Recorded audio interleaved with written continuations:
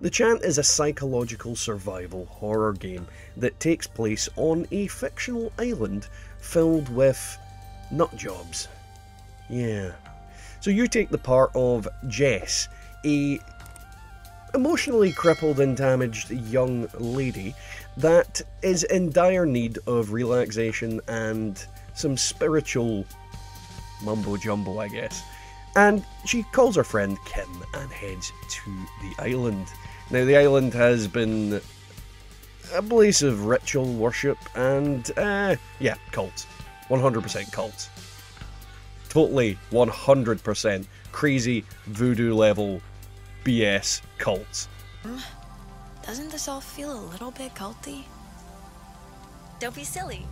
And this is where the story kind of takes off. You take part in some sort of hippie ritual, which opens the realm of Cthulhu, uh, otherwise known as the Gloom. And in the Gloom, you have a lot of weird, creepy, floral abominations that want to eat your brains and soul. I'm fairly certain it's your soul they're mainly after. Now, this aspect of the game is pretty awesome. In terms of the way it looks and the way it feels, it is a very, very tense game as you play through it. And the intro to the game is relatively. what's the word? Blunt and to the point. Uh, there's not a huge amount of faffing around and dealing with things. It kind of just suddenly goes, oh yeah, shit's going down. Uh, and I quite like that aspect of it. Now, let's break the game down into a little bit more digestible bites and talk about, first off, the visual style and the graphics of the game. Now, what I'll say is the graphics aren't exactly the absolute pinnacle of graphics ever. They're good though. They are good, and the visual style of the game is actually pretty awesome.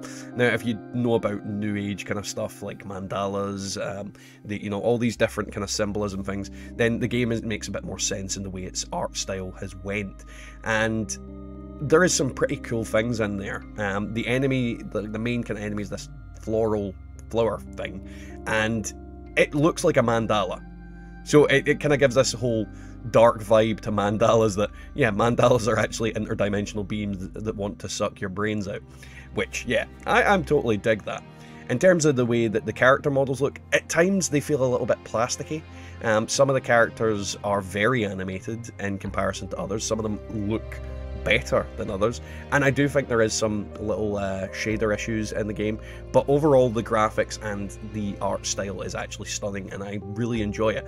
And the thing about this uh, this company brass token that has made this game this as far as i can tell is their first foray into an actual official video game which is actually really encouraging. I'm looking forward to what they come up with next because this this is actually very visually good.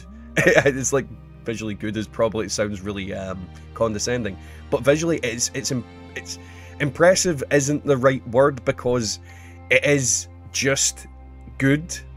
It's not like blown my freaking balls off, but the art style is fan freaking tastic.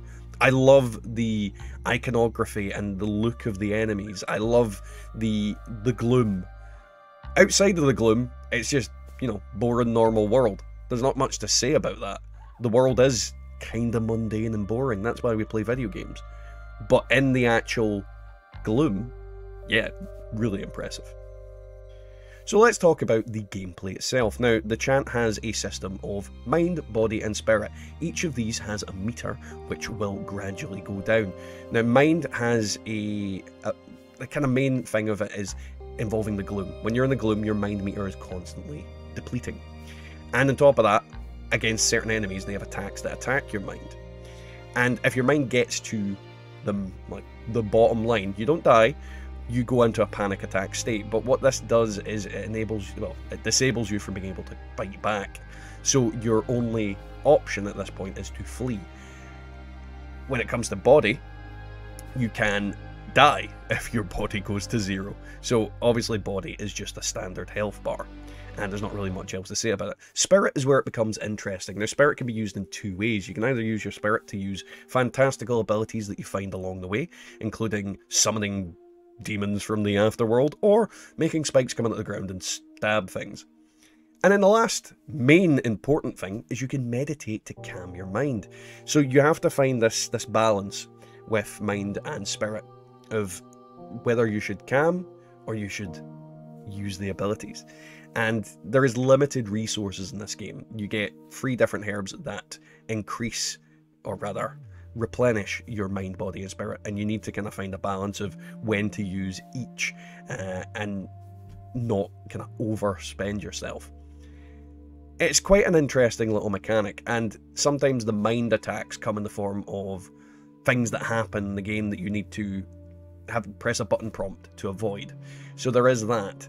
And I, I quite enjoyed it. It's a unique type of mechanic. I've never I've not really seen that in any other games where you've got free stats that kind of counterbalance each other. And someone else might have seen that. There might be other games out there that I haven't played that have this similar kind of mechanic, but it was unique to my personal experience. Now, the combat system uh, can be summed up by the word basic.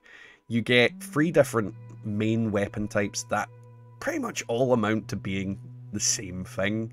Uh, they do different effects on different enemies, and that that is very much a thing. You also get to throw like a petrol bomb and a jar of your own piss, uh, and salt for some reason. Um, I know spiritual things, salt, I get it. But when it comes to the combat system itself, it's not that complicated. However, the problem kind of lies in the fact that there's limited resources. So while the combat system isn't that complicated, you're constantly having to strike a balance of do I fight this thing or do I just leg it? Because I'll be honest, if you fight everything, you might have an issue long term in the game. Constantly scrambling, searching for herbs mid fight is very stressful at times. And to an extent, that adds something to it and makes it like stressful fights are actually really rewarding when you get through them, I find in video games. And this, I felt there was quite a lot of stressful fights where I'm like, oh Jesus, oh Jesus, oh Jesus, I've not got enough, I've not got enough, and then I barely kill something.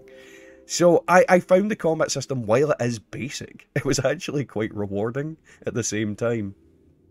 Now, when it comes to character development and progression, it's pretty much an age-old RPG skill tree. Most games have skill trees these days. It's nothing groundbreaking, nothing amazing. I just thought I'd mention it and say that there is a skill tree that can increase your stats and increase your resistances or make things more effective. There's a load of different things that you can focus on. If you want to focus on combat, you can. If you want to focus on, you know, just surviving, you can. It just depends on what way you want to play the game, realistically.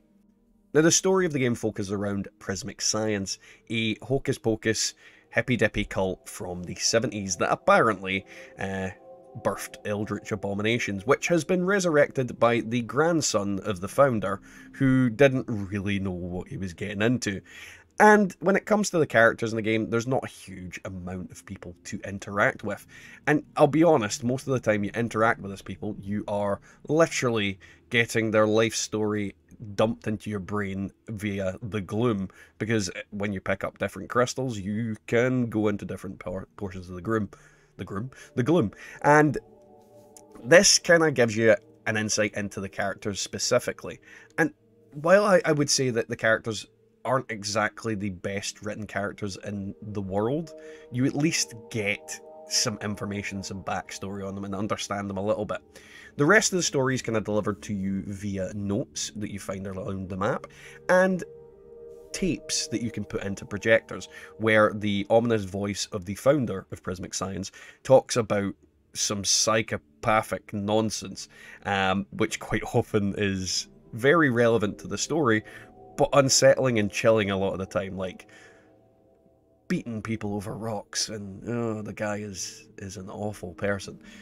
And this is the thing about the game. You get to look into the hearts and minds of the people that are with you who are looking for some solace and some rest from their inner demons. And this is the thing. These people face their inner demons. You face their inner demons. It's a very, very fucked up ride. And it's quite good. Now, let's talk about some negatives of the game. Now, the first off is the puzzles in the game. In any survival, horror, psychological type game, there's obviously going to be puzzles, and these ones reminded me very much of Resident Evil 1, 2, 3, the, you know, early Resident Evil games, where it was go here, pick up X, put X into slot, or combine things to put X into slot. It, eh, very simple. And there were some puzzles that were a bit more complicated, but they were few and far between. So I really would have felt that more complicated and in-depth puzzles could have been had. On top of that, I think that would have taken away from maybe the, the, the combat or the trying to avoid enemies, but I, I don't really know. It's it's hard to say.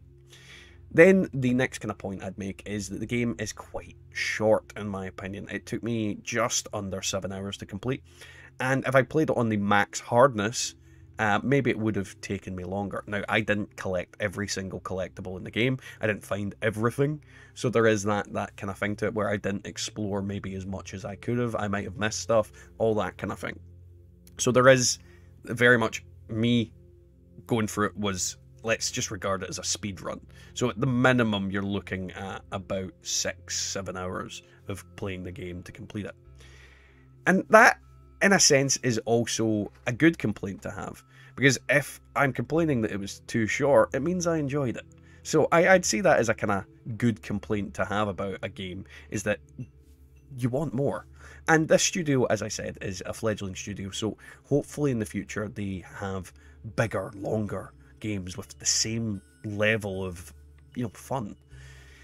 Then my other complaint is the combat system and the skill tree.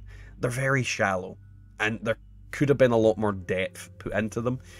At the same time, again, it's the same kind of thing where I feel it would have taken away from the whole panic level psychological thing of it if I could get super overpowered and broken and just completely annihilate enemies with the power of my mind. But it is a complaint that when it comes to if you're going to add a skill tree and, and a combat system, you want it to be you you want to be overpowered in some senses. You want to be like feel strong and powerful. But I didn't feel strong and powerful. I felt like a young girl flailing herbs at demons. And that added to the fear and the, the anxiety of like, oh god, I need to run away. So I think that was intentional to an extent. But overall, the game is very, very nice, very fun. And I would heavily recommend that you play it. I mean, it's really up to yourself if you think the price tag is worth a game that's only maybe going to take you seven hours to complete. But as I said, there's replayability to it, and I very much speedrun it as far as I'm concerned, and I'm not good at speedrunning.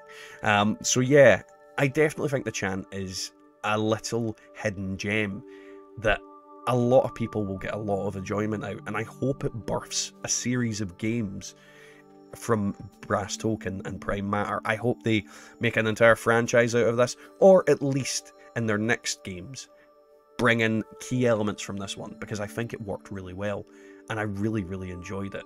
And hopefully you guys will too. And as I said, I got this game from a free key from Keymailer. Um, I'll leave a link down below to the game itself on Steam if you want to take a look at it. And if you did enjoy this video, don't forget to leave a like, a comment, and subscribe for more videos like this in the future. Because if you guys like these types of videos, I'll make these types of videos. Anyway, guys, I'll catch you next time, and hopefully you don't end up in the gloom.